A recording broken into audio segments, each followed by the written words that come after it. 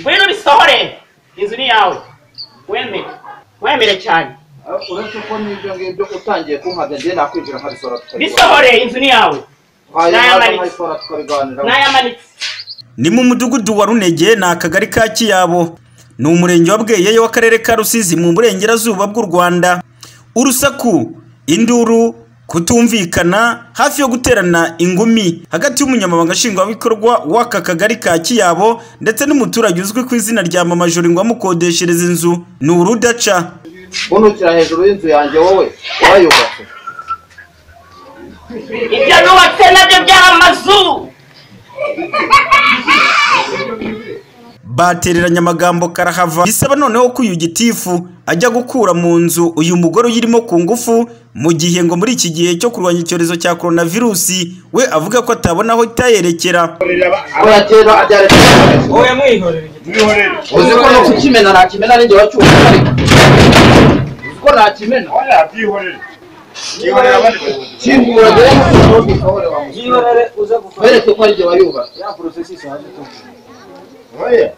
chimera sina chimera ariko yego rurenze rurenze mwebwe yego zihorere bura se yutsa kinga niyo yubatse ntabwo yagira ngo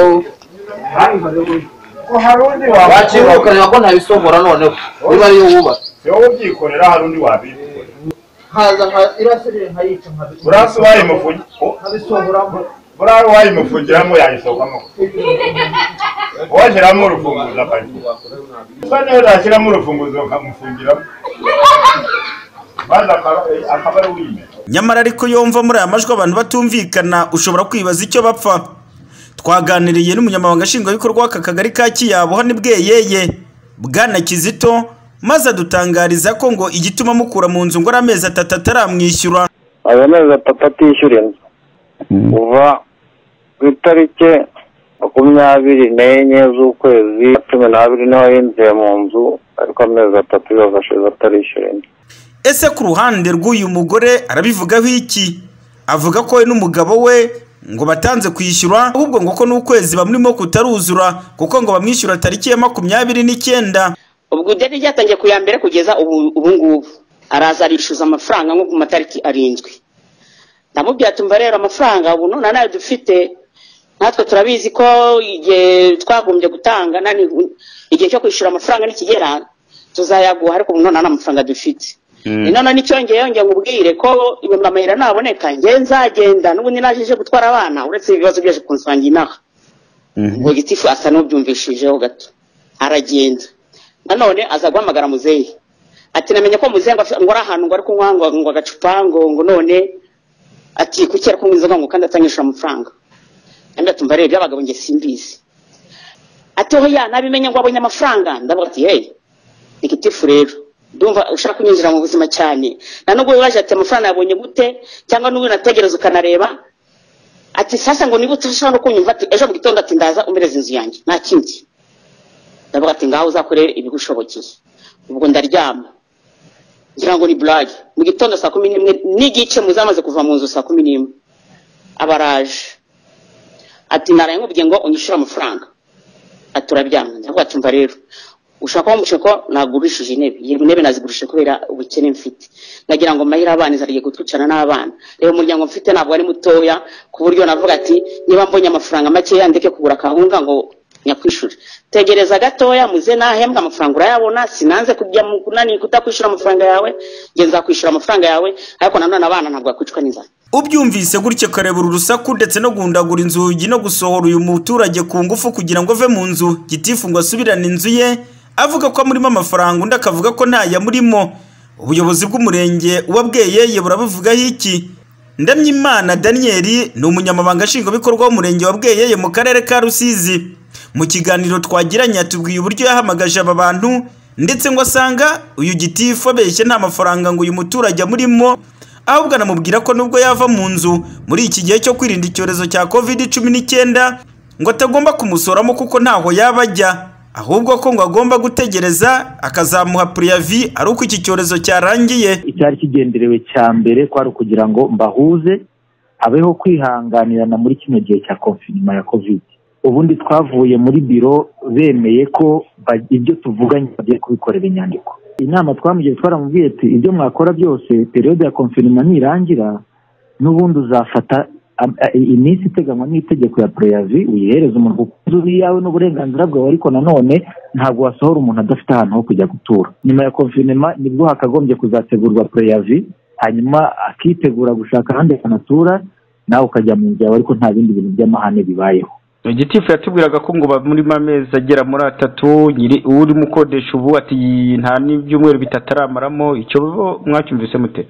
Nyakubahwa journalist kugira ngo tukimara kubahamagara impande zo- zose nyine hari- harimo harimo ababeshyaga abandi bakavugisha ukuri ariko dusesenguye ikibazo dusanga beyeroma amafaranga nta- n'ideni kwanza bafite nyinshi. Uru ni rumwe mu rugero rubaye rusizi kugera aho umwe mu bapangayi ndetse na nyir'inzu benze gufatana mu mashati ari umuyobozi w'umugabo ndetse n'uyu mugore kakahava. Mu gihe n'abaturage hirya no hino mu bice bitandukanye bamaze iminsi baduhamagara basaba ko ngo bakorerwa ubuvugizi ngo ba nyir'amazu bamwe bagiye babakupira umuriro ahandi bakabakupira amazi. Bagashaka ngo no kubasohoramo ku ngufu nyamara bazi ko no kurya ngo barya ari uko bakoze. Kandi muri iki gihe cyo kwirinda iki cyorezo cya coronavirusi nta muntu n'umwe uri kuva mu nzu. Aho bamwe mu butumwa baba bohereza ku itangazamakuru baba basaba ko inzego z'ubuyobozi zagombye kugira icyo zikora kugira ngo aba bapanga bajye bareka guhohoterwa. Celestin ntawuyirusha amaboko btn tv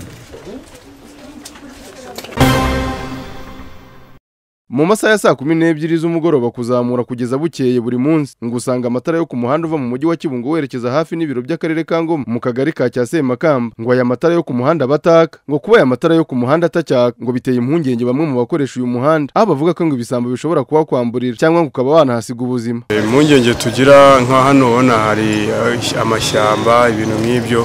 Akenshi na kenshi rero nk'iyo hanyuze uri kuri telefoni ushobora guhura n'abajura bakaba bakwamburira ibintu nk'ibyo cyangwa se bakaba bakugira nabi ukaba wabura nk'amafaranga ndetse rimwe na rimwe n'ubuzima ukaba wabuhaburira. Ushobora kugira ubwoba ko hahora ari ibisambo cyangwa burya iyo hari n'umwijima mushobora no kugongana.